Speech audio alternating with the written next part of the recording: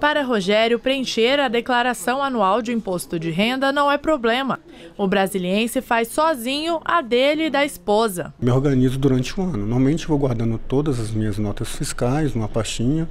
Quando chega o período de declaração, a gente faz a declaração, tenta fazer no início. O sistema ele é muito intuitivo, e por ser uma declaração simplificada, eu consegui fazer sempre a declaração minha e da minha esposa. Mas para muitos brasileiros, fazer a declaração do imposto de renda não é tão simples assim. A contadora Sandra dá algumas dicas para os contribuintes evitarem erros que possam levar à malha fina. Sempre ter cuidado com a documentação, separar essa documentação e mantê-la por cinco anos e também conferir a declaração antes de enviar. Então, não só os rendimentos, mas as deduções, as aquisições também realizadas no ano de 2016.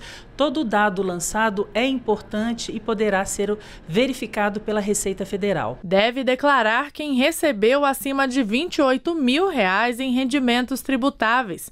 40 mil reais em rendimentos não tributáveis ou descontados na fonte, acima de 142 mil reais de lucro em atividade rural proprietários de bens ou direitos acima de 300 mil reais. Entre as novidades deste ano estão a obrigatoriedade de informar o CPF de dependentes com 12 anos de idade e o envio da declaração pelo mesmo programa de preenchimento. Até o dia 28 de abril, a expectativa da Receita Federal é receber 28 milhões de declarações e para não ter problemas com o leão, a Receita recomenda que o contribuinte não deixe para a última hora. O comportamento do contribuinte desse ano tem sido o mesmo dos anos anteriores.